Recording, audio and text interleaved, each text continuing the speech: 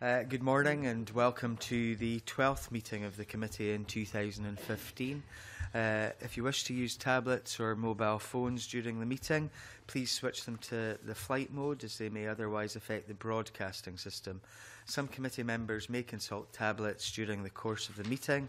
This is because we provide meeting papers in a digital format. Uh, we've received apologies this morning from Alec Rowley. Uh, agenda item one is to agree to take agenda item four in private. Are we all agreed? agreed. Thank you. Uh, agenda item two is consideration of petition PE 01534. This is by Claire Simmons on behalf of Planning Democracy on equal rights of appeal in the planning system. The petition was lodged with the Parliament on the 3rd of September 2014 and has been referred to us by the Public Petitions Committee. The petition calls on the Scottish Parliament to urge the Scottish Government to review the current rights of appeal within planning uh, and other consenting processes, which give deemed planning consent considering the benefits of widening the scope of appeal and providing an equal right of appeal. Uh, we have a paper from the clerk setting out the background to the petition and the written, written and oral evidence to the Public Petitions Committee received on this petition before they referred it to us. Uh, do any members have a view on the pet petition? Um, uh, Ms Hilton. Uh, yeah, I got quite a lot with the petition. Um, I think it is something that does need to be explored further because it does look at the moment that there is a bit of an imbalance in the system, you know. Um, I do think local communities and local people are losing out to some extent. So I think it is something we should look at if we can progress it somehow. Any other members? Ms Adamson? Um, at this stage, um, because it's very early in terms of when the new regulations have come in, that we write to the government and ask them what the timescale is for reviewing the planning you.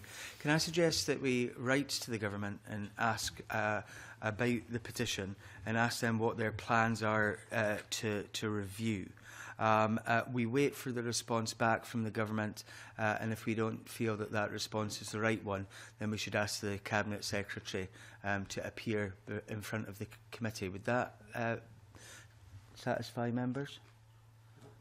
Okay, agreed. Thank you uh, in which case now we move on to um, uh, agenda item three, uh, which is an oral evidence session with the Commissioner for Ethical Standards in Public Life in Scotland, Bill Thompson.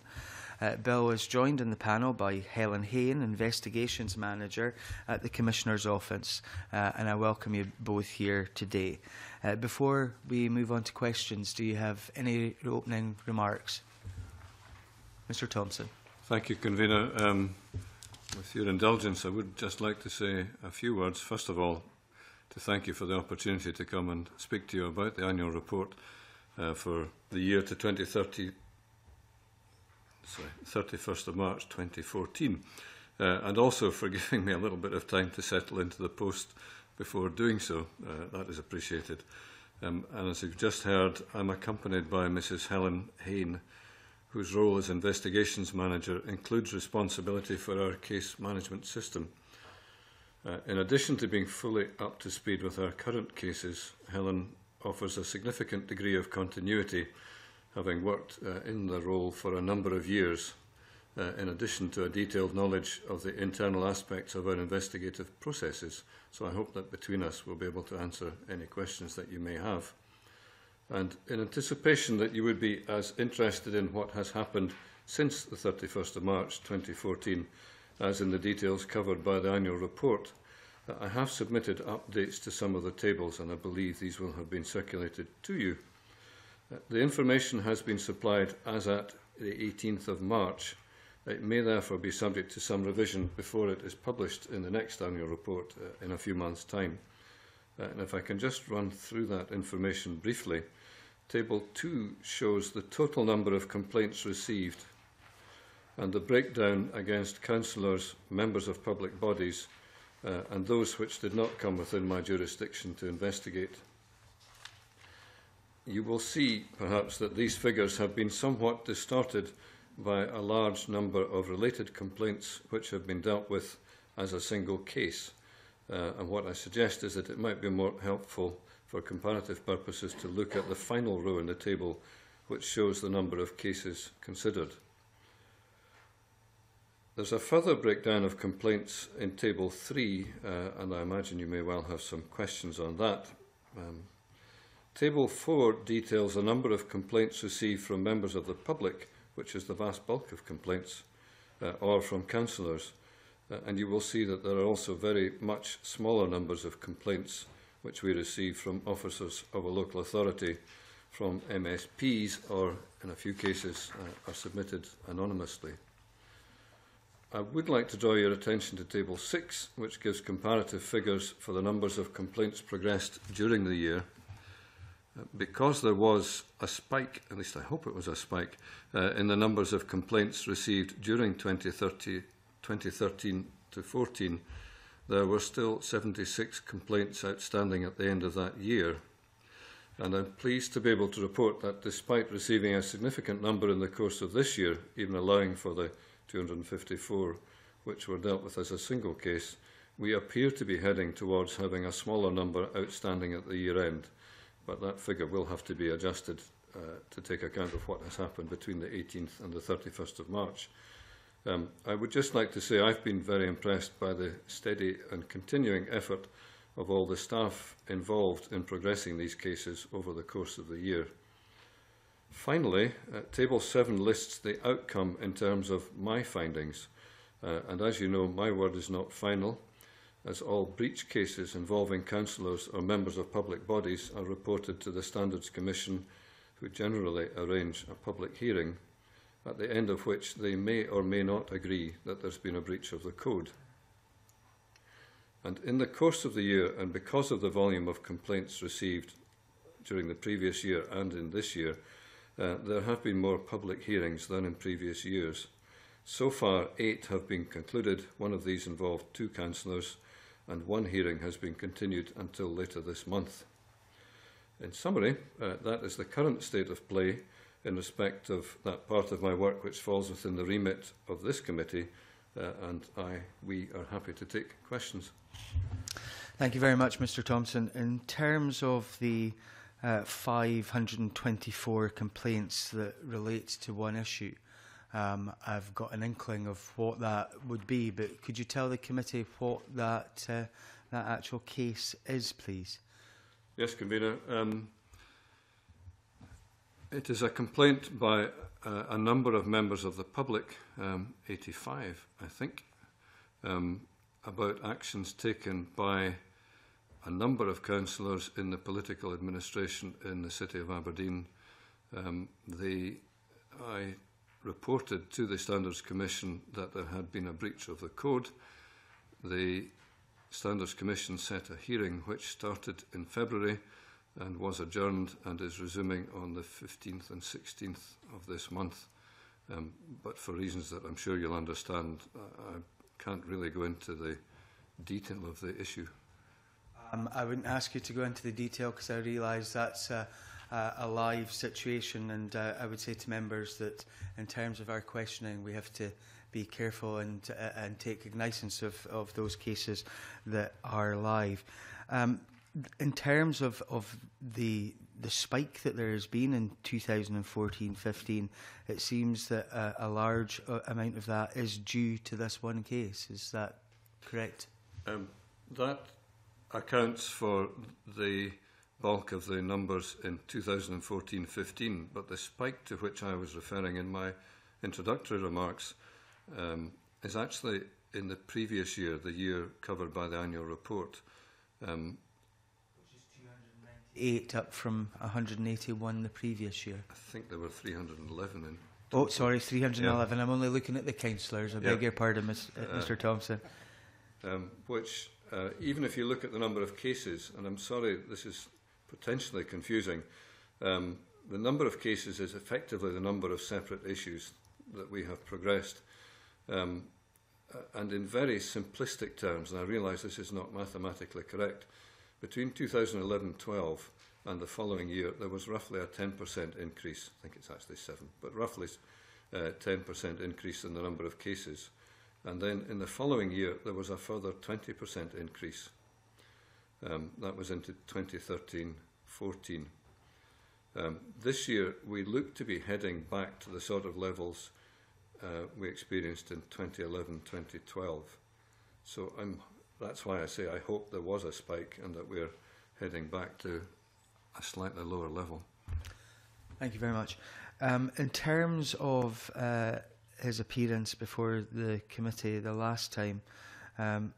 Mr. Allen was questioned uh, about alios and complaints uh, about uh, those folks who sit on those outside bodies, and obviously councillors are covered by the code when they sit in alios, but uh, non-councillors, external members of that ALIO are not. Um, and the committee felt that that was a little bit of an, an, an, an anomaly, uh, anomaly even, uh, a word I can never say. Um, could you tell us if, uh, if anything has been done to, to try and, and bridge that anomaly? short answer is yes, uh, although I'm not sure that it will appear uh, very much in published documents. Um, as I'm sure you're aware, the Code uh, of Conduct for Councillors does endeavour to cover the situation where councillors are appointed to other bodies, uh, at least in terms of the specific rules on registration and declaration of interests. Um, and it does give guidance. Um, the Standards Commission, uh, who conduct a certain amount of outreach, uh, I know are aware of this issue of um, alios, arm's length organisations, um, originally set up by councils um, and have been involved in some discussions, including uh, specifically with uh, one authority who, who asked them to come and address the particular issue. Um, I know it was also discussed uh, at a recent meeting involving members of the Standards Commission and monitoring officers from uh, a fairly substantial number of authorities across the country. Uh, so it is a live issue. My impression is that although there may be concerns in some uh, council areas, there don't seem to be concerns in other council areas. And I'm sorry, I don't have enough information to be able to explain mm. why that is. Um, one thing that it may be related is the question of integration joint boards, which, uh, as you know, uh, have to be in place from today, actually, um, in terms of health and social care. Um, and um, I had the opportunity to ask one of the government solicitors last week um, whether any consideration had been given to the position on those joint boards which have councillors on them as well as representatives of health boards. Um, and my understanding is that the government, if they have not already done so, uh, intend to add integration joint boards to the list of bodies covered by the Ethical Standards Act 2000, under which uh, I conduct these investigations, which would mean that they will have to have, by the time they come fully into operation in a year's time, they will have to have their own codes of conduct. Um, and that, I think, uh, solves one problem in that all the members of the Integration Joint Board will be covered by the same code of conduct. It does, of course, leave open the issue that councillors will be covered separately by the councillors' code. So I'm hoping that in the way that these new codes are drawn up, uh, there won't be any um, what a former presiding officer used to call accordities between the two codes. Um, that's Very interesting. Uh, I just wonder, even though there has not been uh, many complaints uh, about uh, outside non-councillor members of uh, of Alios, do you think it would be wise to extend your regime to, to cover these folks too, uh, just in case there were a, a spate or a spike of complaints uh, about these folks? That's a difficult question to answer, convener. Uh, I'm not trying to be evasive. Um, one thought I have is that if there does not appear to be a problem at the moment, then uh, there would be little point in trying to fix it. On the other hand, I can appreciate that there may not be a problem at the moment because there is no code for these people to breach.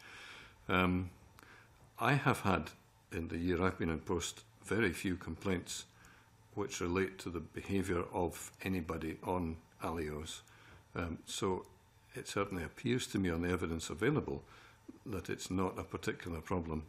Um, my suspicion is that it is more likely to become a problem, particularly in terms of conflict of interest, uh, as the resources available to councils and therefore to bodies funded by them are further constrained, because that may well bring councillors into a position where they have um, a problematic conflict of interest. Thank you. John Wilson, please. Thank you, Good morning, Mr Thompson. Good morning, Ms Hen. Just to go back to the issue raised by the Convener in terms of values, now I, you try to, I think, assure us that things were working well in terms of values and you hadn't received that many complaints. But can I uh, recall a story I heard uh, last week where one local authority uh, committee had to take a vote three times because they were unsure whether committee members, councillors sitting in the committee could actually participate in a vote uh, because they were members of uh, various boards and alios that were established by the local authority. Uh, and it took, the, on the third attempt, they think they got it right in terms of who should be participating and who should not be participating. If council officials and councillors are unaware of whether or not they can participate in the decision-making structures of the local authority when it comes to alios.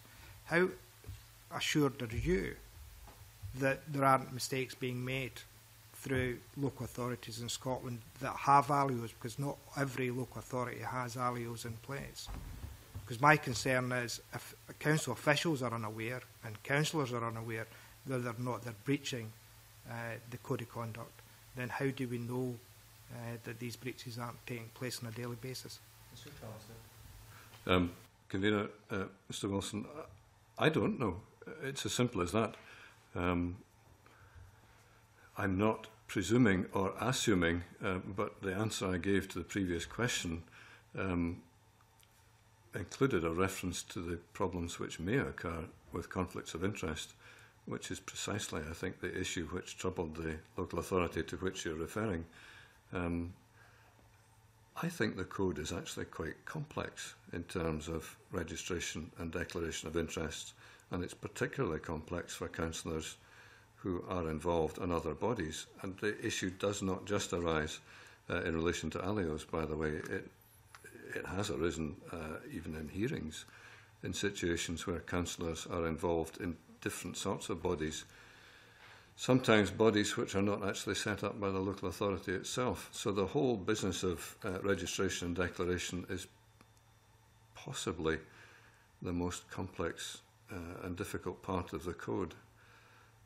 Um, so I, assuming that the situation which you describe um, is accurate, uh, it, it may not be completely unusual. Um, but I I don't go looking for trouble. Um, I will only deal with complaints which come to me. So uh, I'm not in a position to say, despite having had discussions with monitoring officers recently, uh, that there are problems in other parts of the country, but there may well be.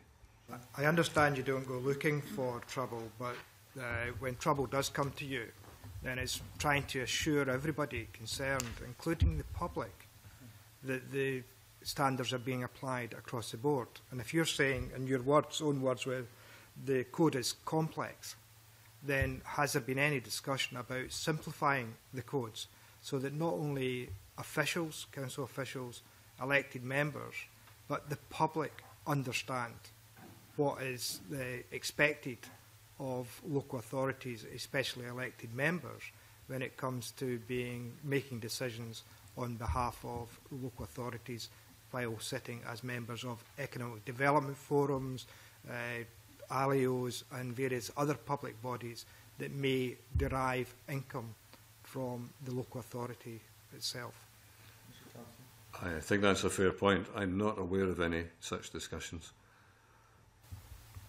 Thank you. Uh, would you undertake to go and have some discussions with the, particularly the Standards uh, Commission uh, to look at the issue because I think it is a concern that you, you've said that you don't go looking for complaints, but as I said, my fear is that people, if they are making complaints, may be complaining to the same council officials who do not understand the code and therefore cannot advise uh, the public whether or not there is grounds for a complaint to be made or other elected members.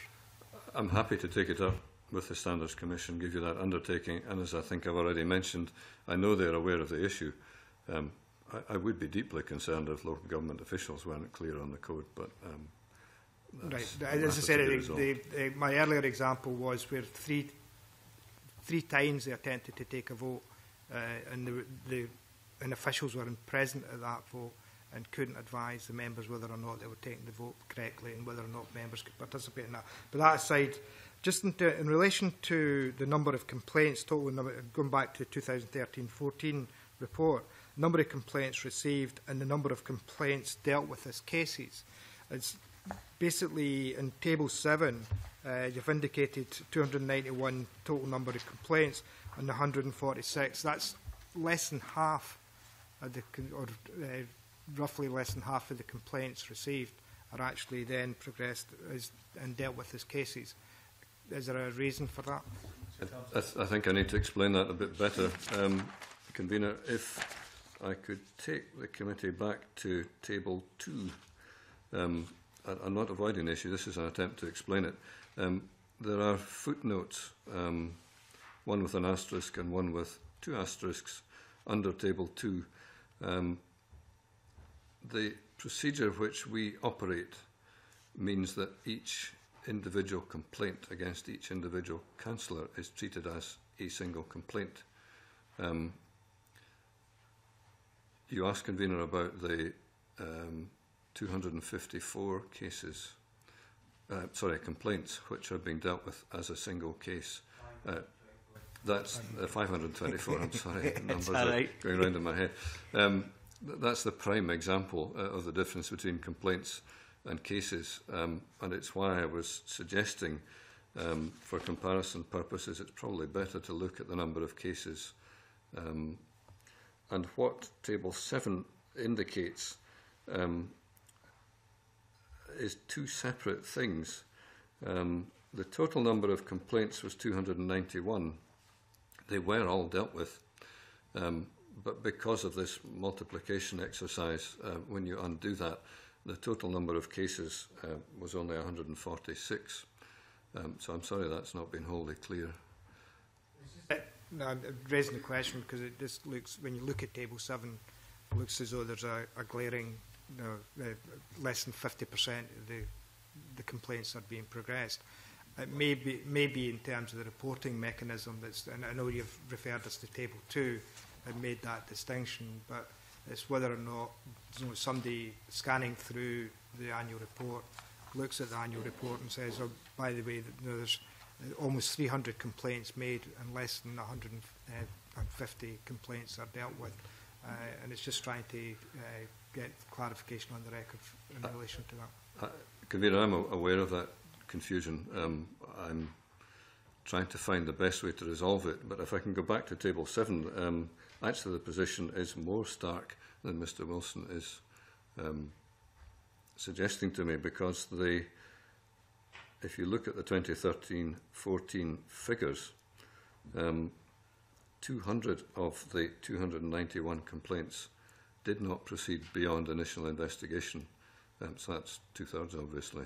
Um, and that is because, um, well, I wasn't there at the time, but that's because my predecessor and the office uh, reached the view uh, that they could not be a breach of the code. Uh, and that tends to be the pattern.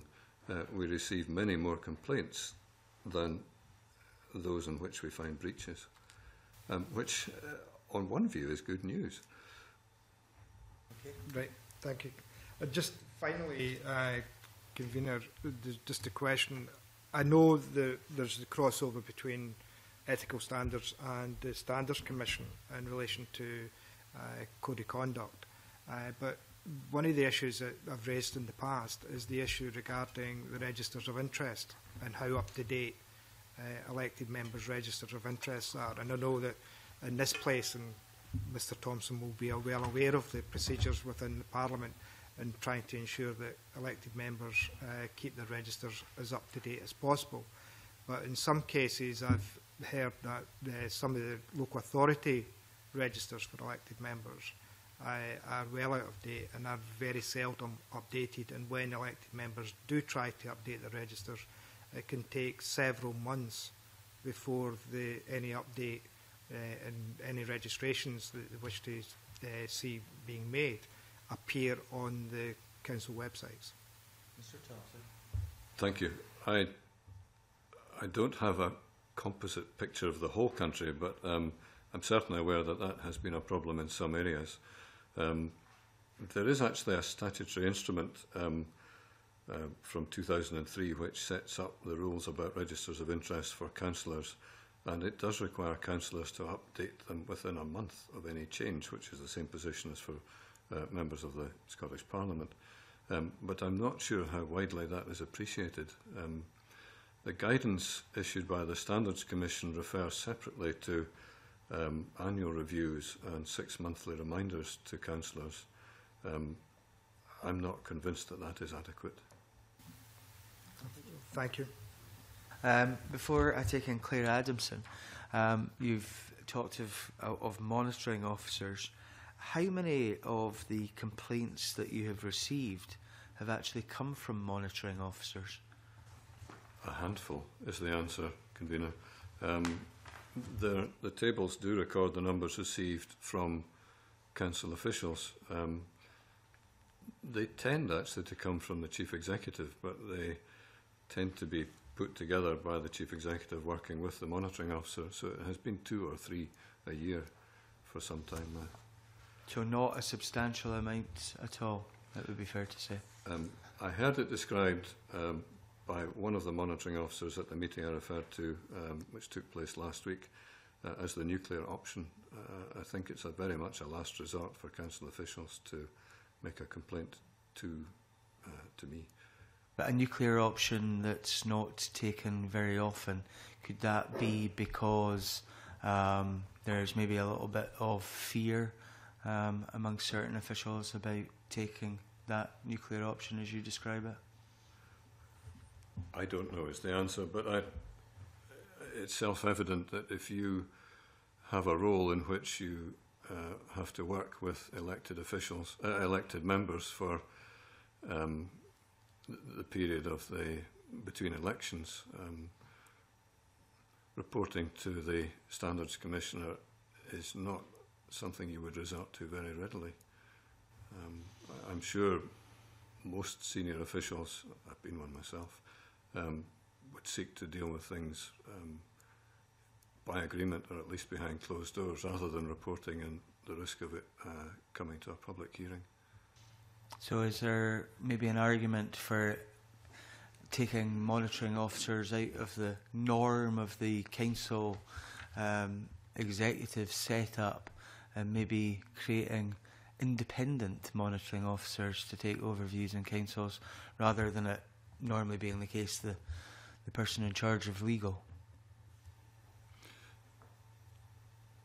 I'm not sure I would um, immediately support that suggestion. Um, I'm not sure you're actually asking me to.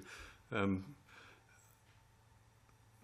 my own experience is that it's better if things are handled uh, by the people who are there um, and therefore I think it would put a chief executive in a very odd position if there was an independent monitoring officer um, who could, and I realise this is a value judgment, who could interfere uh, with however a difficult situation was being dealt with. Um, I don't imagine local authority officials would welcome that. Uh, as per usual, I'm playing devil's advocate, Mr Thompson. Uh, Ms Adamson, please. Um, uh, good morning. Um, wanted to ask about um, the public perception of how the complaint system operates.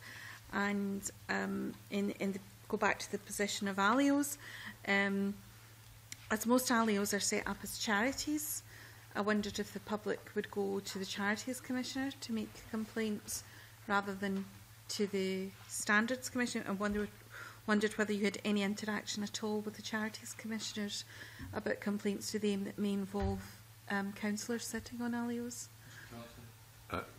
I have not had any such interaction. Um, I confess it had not occurred to me until you asked the question, but it's maybe a good idea for me to do so. Okay. Um, the, the second question I have is actually about the, the publication of the complaints process and um, when a complaint is made against a councillor. And my understanding is that um, as soon as the complaint made, it goes on the it's published on the website. Is that correct to say that there has been a complaint? No. Or is it only after investigation? Um, I'll ask Ellen to answer that. Uh, no, that's not the process. The process during our investigation is to um, receive the complaint, inform the respondent as soon as possible that we've got the complaint to give them an opportunity to respond. It's not until the decision is made by the Commissioner that it goes on the website.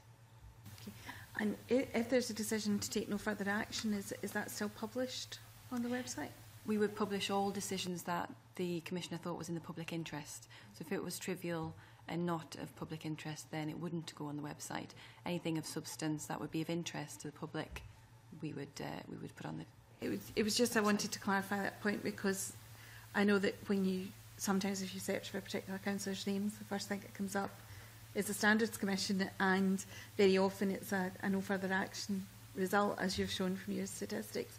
And I just wondered if that maybe gave the perception to the public that there have been significant complaints against particular councillors? or you had a concern in that area about how it's published? I, I think if I would rather answer that, I think, I think it's fair to ask uh, Helen to answer that. Um, that's a possible perception. Um, I would, however, suggest that if, even if there were multiple complaints against a particular councillor, Uh, and if none of them was found to have amounted to a breach of the code, um, I don't see that that could reasonably be portrayed uh, as that you know, a slur on that councillor's character. Um, not all the complaints we receive are politically motivated, but some of them are. Um, and it would appear that there are some councillors who are more prone to such complaints than others. I'll, I'll leave it at that. I think I'll leave it there just well. Thank you. Convener, thank you. Willie Coffee, please. Much convener, uh, good morning, Bill. Uh, I wonder if I could risk asking you a question on Table 7 again, please, on the, the extra sheet that you you gave us. Um, do you see the number there, 540 outcomes which were deemed to be breach? Do they relate to the same case that's all capturing all multiple numbers of cases together, or are they individual breaches? Um, 524 relate to the one case which has been referred to twice. Uh, of course, that's public knowledge because it is um, it is uh, down for a public hearing. Um, if, if I could uh, add to that, in relation to the 540 complaints, that relates to eight cases. So the one that uh, Bill is talking about is 524's one case, and then the remaining complaints relate to a further seven cases. Right. So, so the account term, um, I mean, if 100 people complain and, and the complaint is upheld, is that 100 breaches? About, say it was about one councillor, is that counted as 100 breaches? Sorry, this... this um, convener, if I can... Um, Sorry. this is back to the confusion which, um, which Mr Wilson referred to and, and which does bother me. Um, technically, if there's a complaint and it's found to be a breach, then, and if there are two, they're found to be breaches, then that is correct. Uh, there are 524 breaches, if that is what the ultimate position is. Um, we haven't got to that point yet, of course. Um, that, or rather, actually, I'm going to contradict myself, uh, if I may be permitted to do so.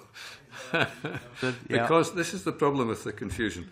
Um, it's the number of people who complaint has who, who have lodged a complaint who have an impact on the total number that we report uh, and I think we have to do that because it shows how many people have submitted complaints um, but there are in fact only seven councillors involved in the 524 so even supposing at the end of the process the standards commission agree with me that there has been a breach and of course they may not agree with me um, the maximum number of breaches would be seven I, th I think that clar clarifies that. Th thank you very much for that, that aspect of it. Could I just pick up on a point that the convener introduced about the allios there? Um, as, as we all know, um, many councils are in the process of transferring assets to communities and so on, substantial, formerly substantial public assets and so on. These aren't allios, these are, these are effectively independent groups of people that will now run and will run um, substantial facilities. Has there been any sense of a, a code of practice or guidance for those members of the public, effectively, who, who may serve in running these bodies? I'm pretty sure they won't be covered by this code, but are they covered by any code, do you think? Mr Johnson. Um, I'm not aware of any such discussions. I hope some are taking place, but I certainly have not been involved. Um, and I know that I was asked uh, before I came here to consider uh, what I might say about the Community Empowerment Bill. Um, and my rather glib answer was I didn't think it would impact very much on the work of my office. But of course, one of the reasons for that is, as of now, uh, those community bodies to which assets might be transferred are not covered by any code which I have a, a remit to investigate. So. Uh, it's a fair point, and I'm, I'm sorry, I don't know the answer. I'm fairly sure that uh, in assisting the communities to, to take ownership of some assets, that there will be discussion around this area, convener, but it would be something that we might be interested in having a wee look at at some point in the future, perhaps. Um, Bill, is there any distinction drawn between, say, a councillor kind of honest forget, forgetfulness about declaring something and actually acting improperly. Is there any distinction drawn between the two in terms of sanctions that can be imposed for, for failure to, to declare an interest? Um, Convener, the sanctions, of course, are uh, the preserve of the Standards Commission. Um, both of those situations would, as far as I'm concerned, involve a breach of the code. Um, if I had the information to show that uh, the first councillor had um, been involved in a breach through an honest mistake, um, I would report that uh, in my report to the Standards Commission. Um, I think I would be fairly unlikely to report that I thought a councillor had done so dishonestly unless it was very blatant uh, because I need to be clear that there was evidence of that. Um, I'm not setting out to defame anybody uh, in a report.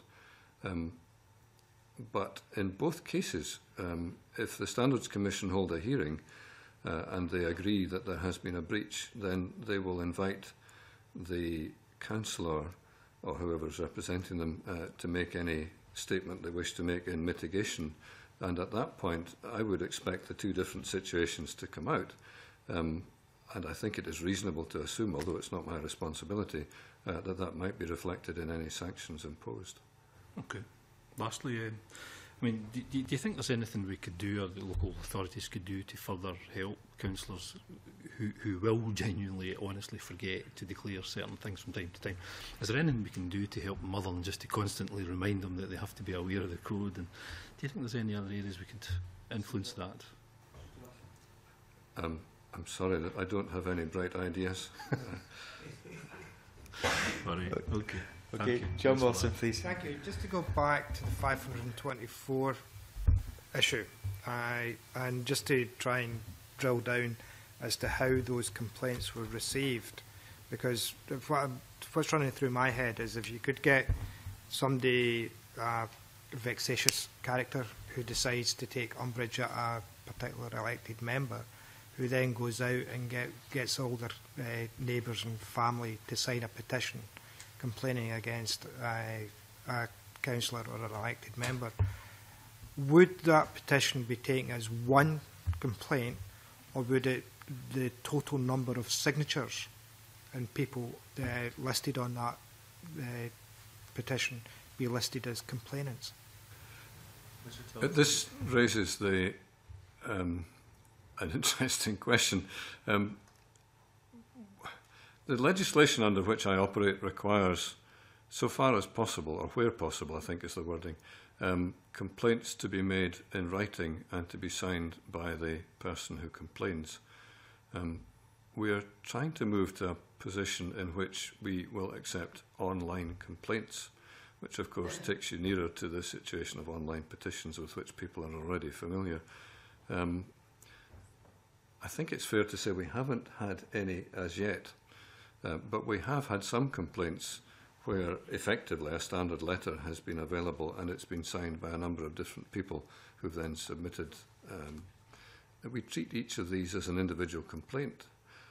But I think what I would say is that the number of people who complain about something It doesn't influence my decision as to whether I investigate or, assuming that I do investigate, doesn't influence my decision as to whether there's been a breach or not. Uh, it's the facts which matter, not the number of people complained, and not, for that matter, the motivation of the person or people who do complain. On that point, uh, you say that you'll make a decision or decide to take forward based on the facts. Uh, now, recently, and I know that the, there was a complaint made Uh, against a particular councillor. I won't go into the details of the complaint made. But the facts relied on what was said at a full council meeting and allegations that were made about particular comments. Uh, now, in a situation like that, where a complaint was made, who do you rely on for the facts? Because you've got one councillor who's complained against, the other councillor makes a counterclaim.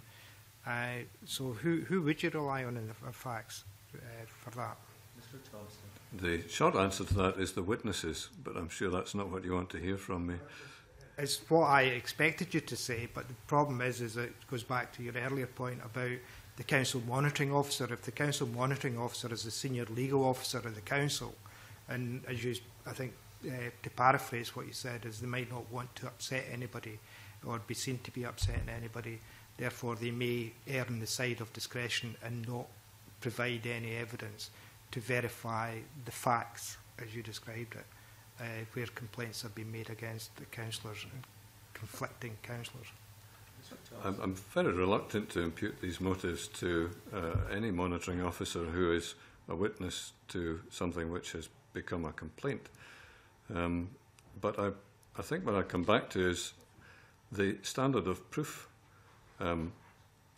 which I have to observe uh, and which is relevant in any public hearing is on a balance of probabilities. Um, if the only available information is Councillor A saying that Councillor B said something and Councillor B denying that he said something, if there's no other information on a balance of probabilities, I can't make a decision that Councillor B did say anything modern technology may help. In that regard, those councils that are now webcasting and things like that, have, have you taken that into account yes. during investigation? Absolutely. Um, and sometimes we're given a transcript. Um, even where there isn't uh, a webcast available, some, some proceedings are actually recorded. Um,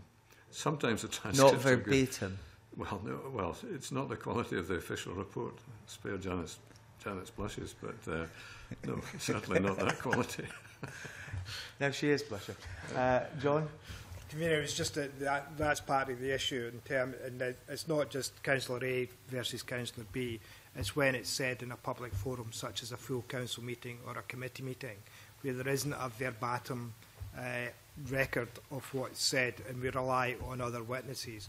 And other witnesses, that, you is trying to as you said, get the facts of the case to make sure that you're actually dealing with the facts rather than a group of potentially elected members uh, deciding to make a case against another, another, elected member of a different political persuasion or none uh, to then say, oh, we're, we're registering a complaint against this councillor because he said something derogatory or she said something derogatory against a particular member or against the council. and it's then how you how you deal with those facts and how you deal with the, that case and the circumstances. I, I have no argument at all with what you're saying. I mean, that is one of the challenges of my job, um, and I do my best to exercise my judgment. Um, I'm not claiming I will always get it right, but I, uh, I can only do so impartially and to the best of my ability. As technology moves on, your job may be a little bit easier. I, I always remember a case long before the days of the Standards Commission, it has to be said, of a story of a North East councillor where one councillor accused uh, another of calling him a baboon Uh, and the other councillor stood up and said, For the record, I call them a buffoon, not a baboon. I would never insult baboons in that manner. Um, now, in those days, there, I understand there was a, a verbatim record but no standards commission. Uh, now we have no verbatim records per se, but a standards commission. But webcasts, radio broadcasts may be helpful in that regard in future. Convener, the other thing they are helpful with, and it is terribly important, is the context in which remarks are made. Indeed. And that judgment must be difficult at certain points for you too. Indeed. Um, Cameron Buchanan, please. Thank you very much, Kibini. Um, in view of what you said earlier, are you concerned about the amount? There are very few anonymous complaints. Are you? How do you judge if they're anonymous? I wasn't quite sure what you were saying. Well, there's hardly any but come up. But I mean, the anonymous that seems to defy the whole system in a way. Some people are unwilling to put their name to a complaint, um, and those are quite simply anonymous. Um, and you will appreciate there is no way in which we can get in touch with the person who submitted a complaint if they don't disclose their identity. So they are they have to remain anonymous as far as I'm concerned, uh, and I, I there would have to be exceptional circumstances for me to progress a complaint of that nature. So the answer is you tend not to progress the anonymous complaints? That's the rule, hmm. yes. Yeah. Okay, thank you. So Claire Adamson, please. It, it, was really a supplementary on the technology issue. Um, obviously, um, different councils have adopted different policies with regards to this at the moment, but is this something that you can have any influence over? And would you suggest that best practice should be that um, full council meetings, for instance, would be recorded in a webcast of some kind? I, I, I really don't think that's for me to say. I, I think it's a matter for councils. Uh, by the way, uh, we've even had YouTube uh, video uh, evidence used. So uh, there's all sorts of technology which may or may not be relevant to particular circumstances. Thank If we could stick to the technology aspect, because many, many more folk are now using social media, Twitter, Facebook, Instagram, uh, lots of other things which I don't understand at all. Um, and we have seen circumstances where um, I, I think complaints have been made about individual councillors about comments that they have made um, to uh, constituents on social media. Um, and uh, I, I suppose you have the difficulty um, in some regards of whether uh, somebody is insulting someone in a, uh, a, uh, an official capacity, like my my last story, or uh, or, or in a uh, as an individual. Um, and can I ask, in terms of the social media stuff, where there have been breaches or, or, or found not to be breaches because somebody is acting in a personal capacity, how difficult is it for you to make judgments in these regards? some are very clear, some are very unclear. So yes, in some cases it is it is very difficult, um, and I think it's an area where, at the very least, further guidance um, would be helpful. I have discussed it with the Standards Commission. Um, I know they're aware of it being a developing problem area. Um, I think Helen has a number of cases. I think we've got roughly 20 in the course of this year. 20 complaints. Oh, yeah. Yes, we've had uh, 20 complaints received this year in relation to social media. And how many of those have been deemed to be breaches thus far, and how many are still under investigation? We have not received, we've not concluded a breach in that area, and I couldn't give you the exact figures of how many were under consideration.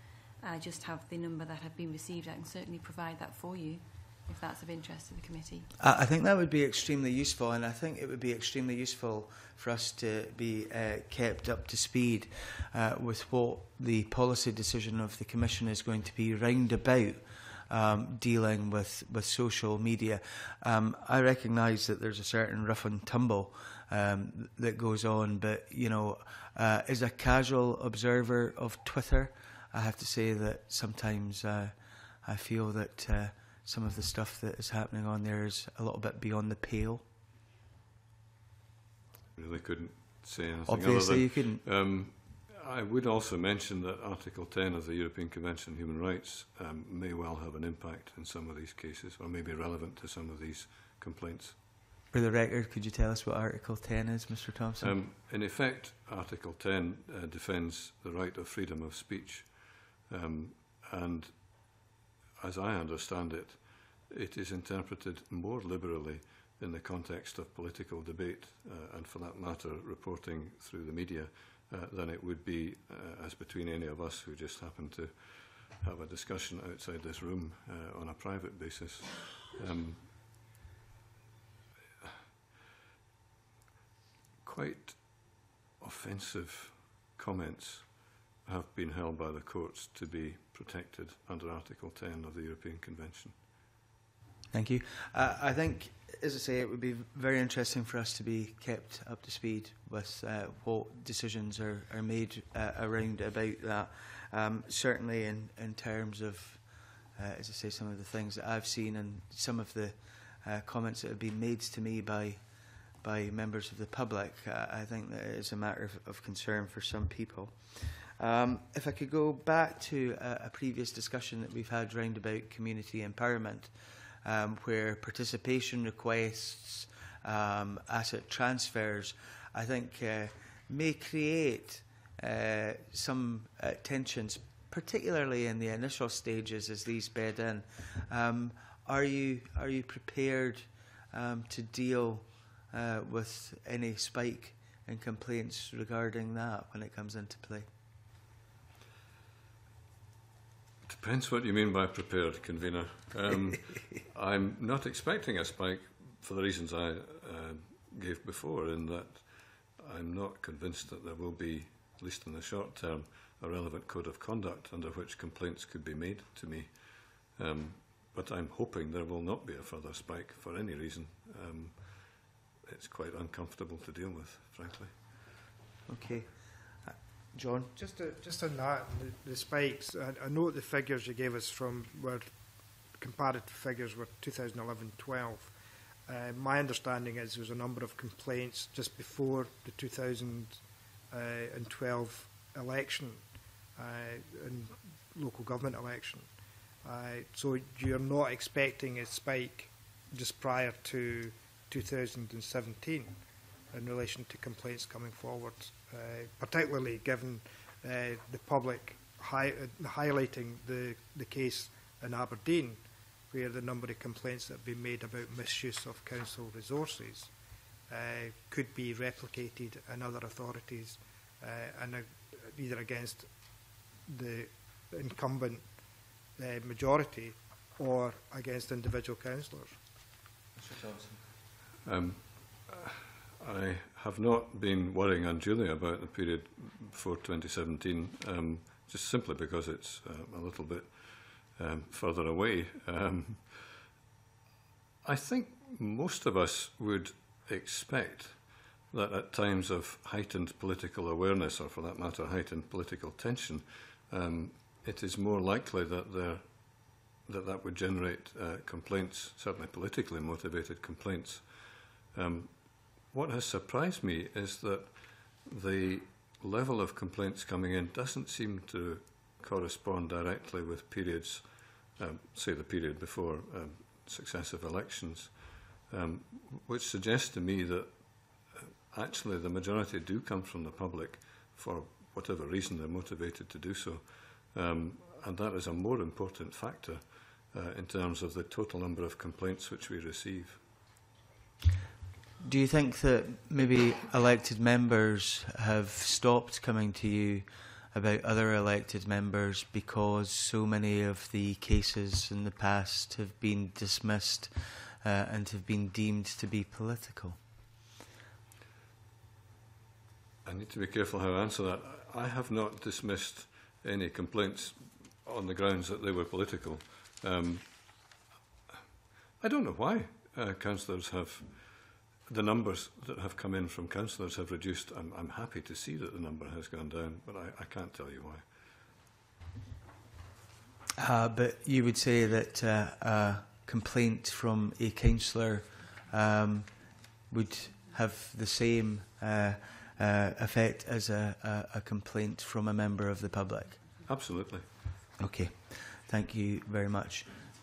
Any other questions?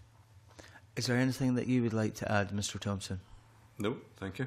Um, I, think we would be grateful if we could get updates on, on certain aspects of this, particularly um, as things progress round about social media, uh, because there does seem to be a, a certain amount of interest uh, in that area. Can I thank you very much, uh, uh, Mr. Thompson, Mrs. Hayne, for your evidence today, uh, and I suspend and we move into private session. Thank you.